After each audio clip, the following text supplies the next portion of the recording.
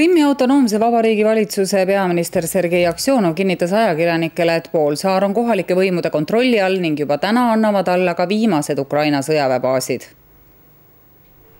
Krimmis on täna raske aru saada, on see ikka veel Ukraina või pigem Venemaa või mingi muu omaette üksus.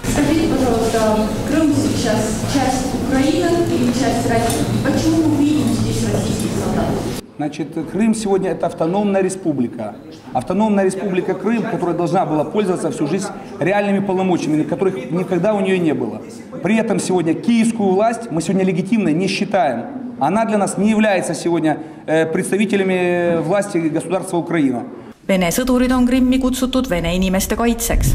Русские граждане Украины, которым относились как э, к людям второго сорта, и то правительство и власть, как они себя пытаются назвать, нелегитимное в Киеве, само спровоцировало данную ситуацию. Aksjonovi sõnul on kõik Ukraina sõjaväebaasid poolsaarel ümber piiratud ja sisuliselt ka alla andmas. Мне звонят с воинских частей, рядовой состав, чтобы вы понимали, и говорят, наши командиры хотят ориентироваться на Киев, но личный состав в полном составе готов сейчас выйти полностью и переподчиниться правительству автономии. Мы это приветствуем, поддерживаем. В час дня у нас практически этот вопрос с точки зрения координации действий э, с воинскими подразделениями будет завершен.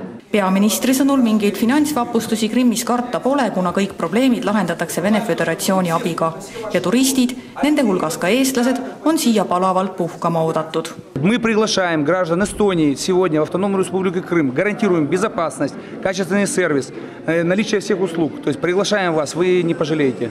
Aksjonov on kindel, et mingit verevalamist Krimmis ei tule.